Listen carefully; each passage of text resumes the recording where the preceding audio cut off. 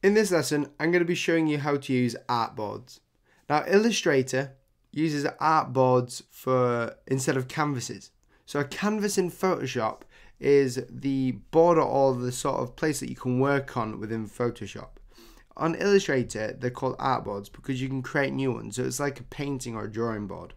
So when you uh, open up a new document, so if I go to my setup document, you can see some of the uh, values that I've used to create this certain artboard. But as you can see over here, I have this other artboard. Now, I've got two layers here and then loads of sub layers underneath. One of them is called first artboard, one of them is called second artboard. I'm going to hide the second artboard and the first artboard so you can see. So this is the first artboard.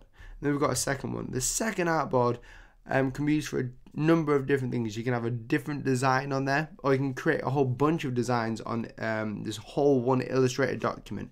This is why it makes it so powerful because you can create new images on different artboards but keep it all in the same file. Or if you want to try a variation of images.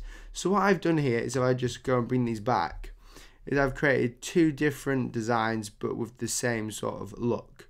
So I've created one saying tutorial and then I've created one saying Tuesday. And they've all got the same sort of uh, look. As you can see, I haven't finished with Tuesday yet, but that's what it's there for.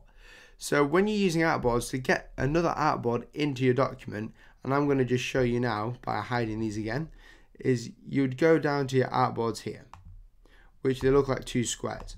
Once you once you're there, you can add an artboard just like adding um, a layer. So I'm going to add a new artboard and that's it. And I can click on it and then it'll take me to that artboard. Now you can see that it's stacking them all like this, this way. So I can add another artboard, another artboard, another artboard. And you can move them up them down. And you can have as many artboards as you need on Illustrator, which is crazy. So you can have as many designs as you want. You can also delete them all as well at the same time. So if I wanted to create a new artboard, just click it and then I can go ahead with another design.